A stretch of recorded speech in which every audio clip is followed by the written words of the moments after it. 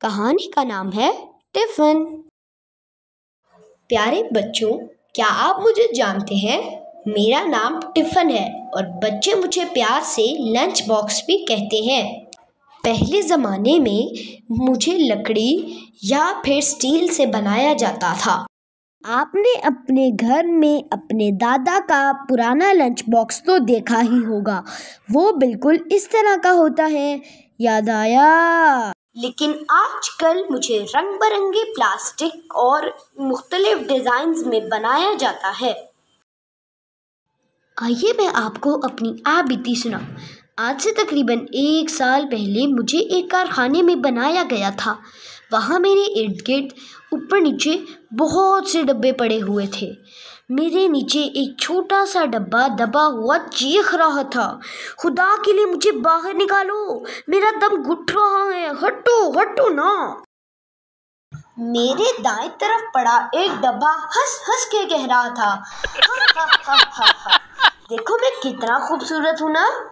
मेरे जिस्म पर कितने खूबसूरत फूल बने हुए हैं। हा हा हा। इसकी बात सुनकर मैंने खुद को गौर से देखा। मेरे जिस्म पर नन्हे मुन्ने कार्टून बने हुए थे और लिखा था डिज्नीलैंड।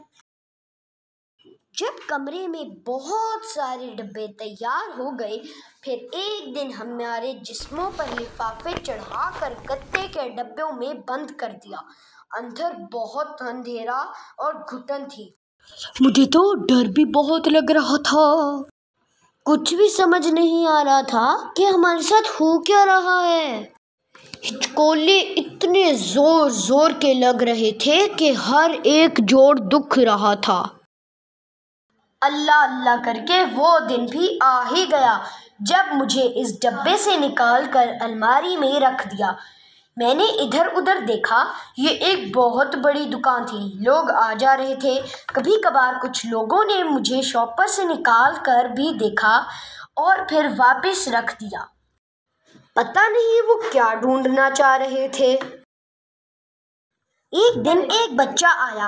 इसने खाने के कई डब्बे देखे और फिर मुझे देखकर खुश हो गया। अम्मी अम्मी, मुझे ये वाला चाहिए। इस पर मेरे पसंदीदा कार्टून भी बने हुए हैं। इसकी अम्मी ने मुझे खोल कर देखा और बोली हाँ हसन, ये ठीक है।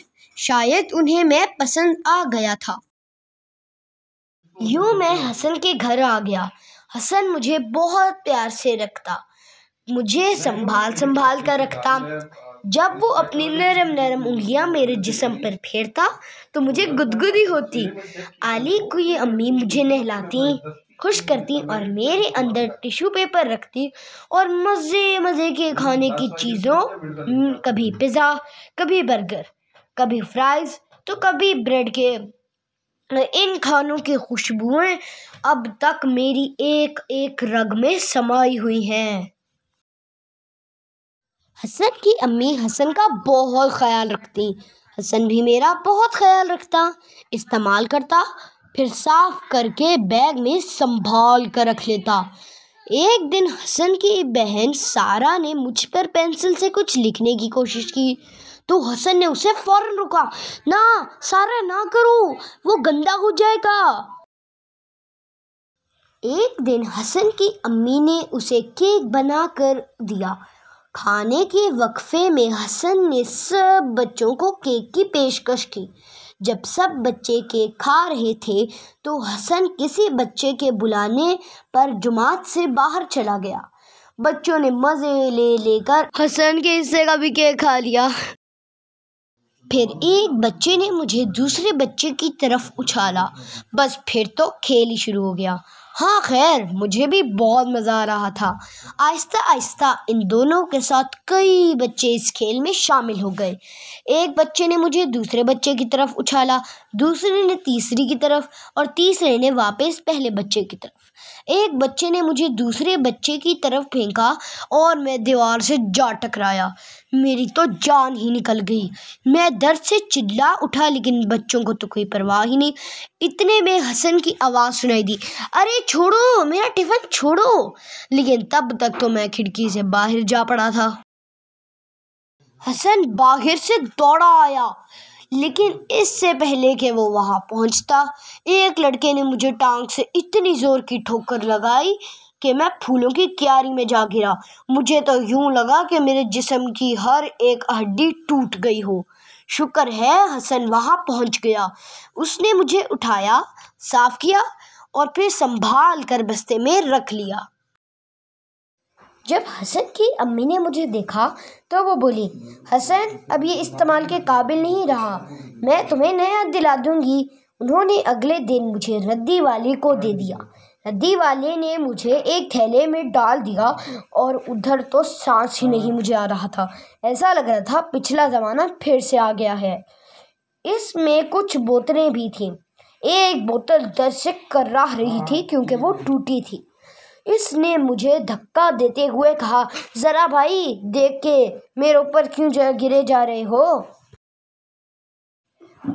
मैं दबक कर एक बोतल के पास बैठ गया।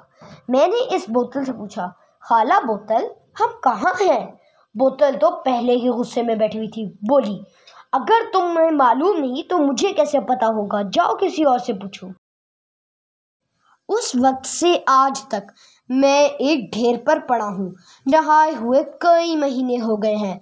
मुझे नहीं मालूम कि अब क्या होगा। अब तो मुझे कोई भी नहीं लेगा। मेरे जिसम पर बने कार्टून भी मिट चुके हैं।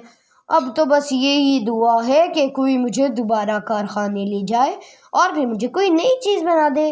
आ, जैसे हाँ मेरा दिल चाहता है कि मैं गुलदान बन जाऊँ और मेरे अंदर रंग बरंगे फूल सजाए जाएँ। अब पता नहीं है मेरी ख्वाहिश कब पूरी होगी। अगर आपको हमारी वीडियो अच्छी लगी तो हमारे चैनल को सब्सक्राइब करें, वीडियो को लाइक करें और अपने दूसरे फ्रेंड्स के साथ शेयर करें। मिलता हूँ एक न्यू वीडियो में। Bye bye